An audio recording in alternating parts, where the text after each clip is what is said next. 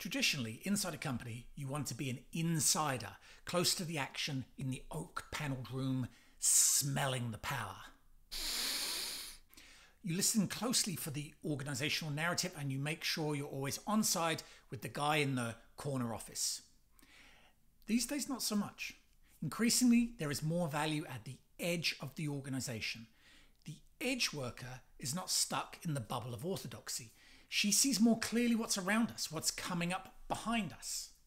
The edge worker is more likely to be connected to external people, industry leaders, more connected into the zeitgeist, more in tune with what is happening in the emergent world.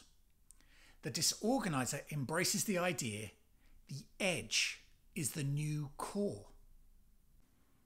Hey, thanks for watching. I will post each of the 99 episodes to the social channels listed here.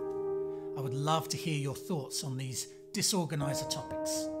Please like, comment, subscribe, follow below. How can I help?